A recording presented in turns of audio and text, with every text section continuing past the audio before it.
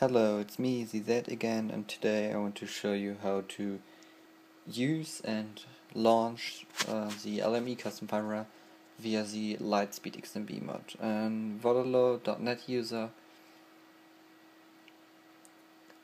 asks um, for a reason for using um, Lightspeed. The LME custom camera um, the name of the user is Opapi and I'm I'm doing this video just for him.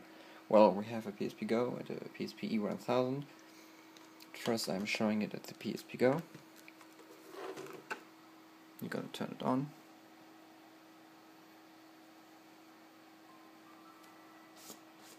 It will boot into 6.60 OV. It's a custom wave and there we actually go. Launch 6.60 LME.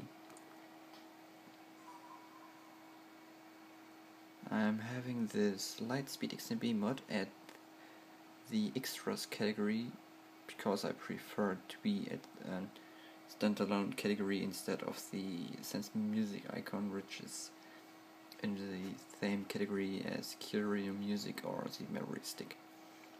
So that's pretty much Lightspeed launches the LME custom firmware from this specific oops firmware icon.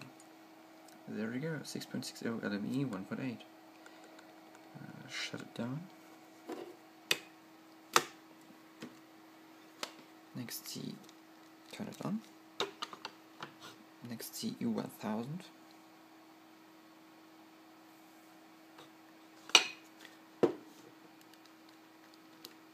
Actually turn it on.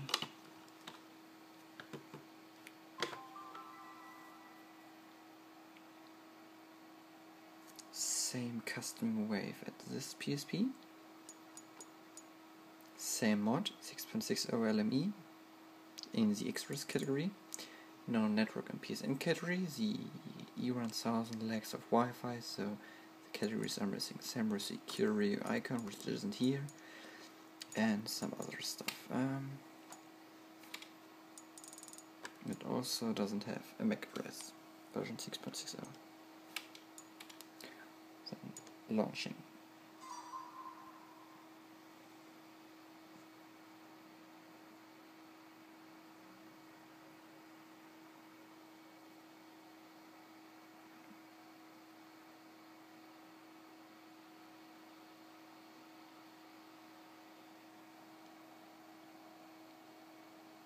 Also at the E1000 you can fast boot into the LME via Lightspeed 6.60 LME custom firmware.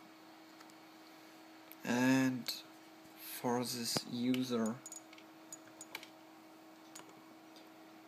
you can use homebrews at the E1000 that's the Lightspeed installer the LME installer and and hand um, you can use homebrews and ISOs and PSX games at the E1000 like at every other PlayStation Portable. Well, that was pretty much the video, just showing the light speed for this one user. I hope you will have fun with your PSP and your PSX games. Greetings, the Zett.